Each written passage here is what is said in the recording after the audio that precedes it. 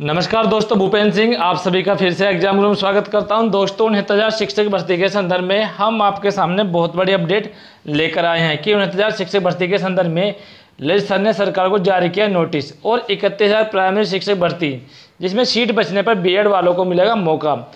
उत्तरकुंजी मामला और एमआरसी की कोर्ट अपडेट, अंतकाल तक पिछड़ेपन को ढोते रहेंगे और एससी और आरक्षण लाभ निचले वर्ग को नहीं मिल रहा। दोस्तों, इन सभी न्यूज़ की डिस्कस इस वीडियो के माध्यम से। आप सभी से करना चाहता हूँ, आशा करता हूँ कि आप सभी को यह वीडियो बहुत ज़्यादा पसंद आएगी।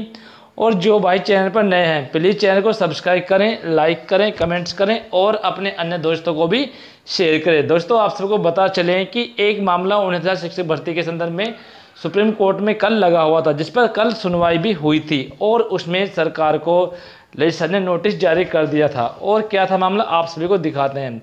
दोस्तों, आप सभी देख पा देख पा रहे हैं कि सत्ताईस छः सत्ताईस आठ दो हज़ार बीस, ये लेजिस सर की और जस्टिस विनीत सर की बेंच में एक मामला लगा हुआ था और जिसकी सुनवाई अब दो सितंबर दो हज़ार उन्नीस दो हज़ार बीस को होनी है, जो कि अर्चना चौहान जो याचिकाकर्ता अर्चना चौहान है उसके संदर्भ में आदेश भी जारी होगा। आप आदेश देख सकते हैं, दो आठ दो हज़ार बीस का मामला क्या था, वो आप सबको बताते हैं।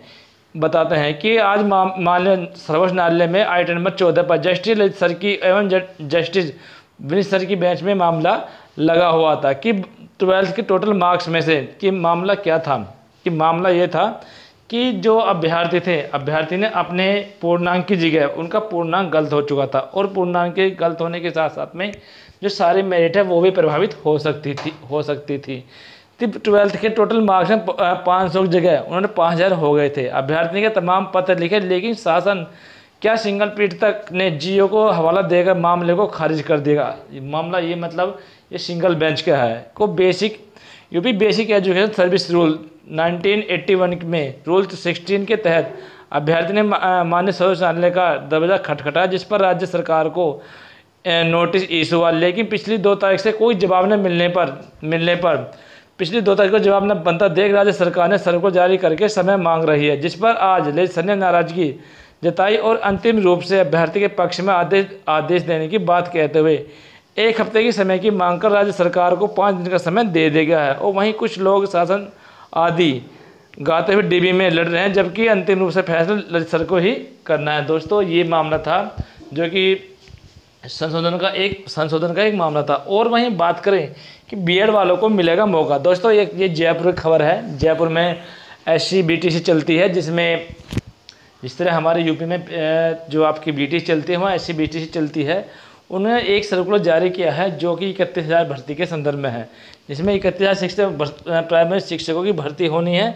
तो उसी के साथ में राजस्थान सरकार ने भर्तियाँ निकाली हुई हैं। उनमें कहा गया है कि अगर जो बीटीसी या एस बीटीसी वाले जो छात्र हैं, अगर उनसे सीट खाली रहती हैं, तब उनको बीएड का मौका दिया जाएगा। और वहीं बात करें कि कुछ लोग अंतकाल तक अपने पिछड़ेपन को ढोते रहेंगे। दोस्तों, इसमें जो आरक्षण का मामला था, ये सुप्रीम कोर्ट ने इस पर टिप्पणी की है। और टिप्पणी बहुत ही भयानक है कि सुप्रीम कोर्ट ने कि सुप्रीम कोर्ट ने बृहस्पतिवार को कहा कि आरक्षण के उपवर्ग का तय करने का अधिकार राज्य सरकार को है, जिससे जुड़े इस मामले की सुनवाई के दौरान कड़ी टिप्पणी का आरक्षण निचले पर स्तर पर नहीं पहुँच पा रहा है। ऐसे में लोगों को किस्मत में ही लिखा है कि वे अंतकाल तक पिछड़ेपन को ढोते रहेंगे। जस्टिस अरुण मिश्रा की अध्यक्षता वाली पाँच सदस्य विधान संविधान पीठ ने कहा कि निचले स्तर तक आरक्षण लाभ पहुँचने के इरादे से एस सी और सामाजिक रूप से पिछड़े वर्ग के अभ्यर्थी में उपवर्ग बना सकते हैं। कोर्ट ने ऐसे मामले से जुड़े अपने 2004 के एक फैसले पर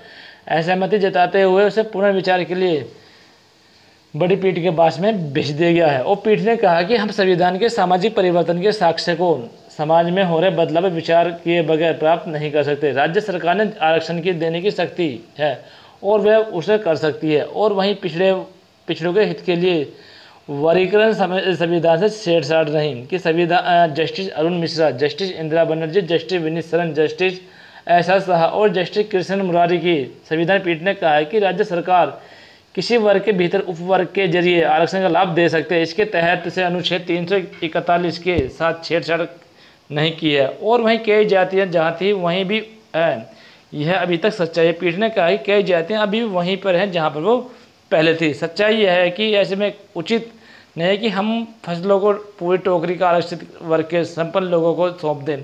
जो लोग मुझसे पीछे रहे हैं उन्हें आगे हो, होना होगा। दोस्तों ये थी न्यूज़ जो हम आप सामने लेकर आए।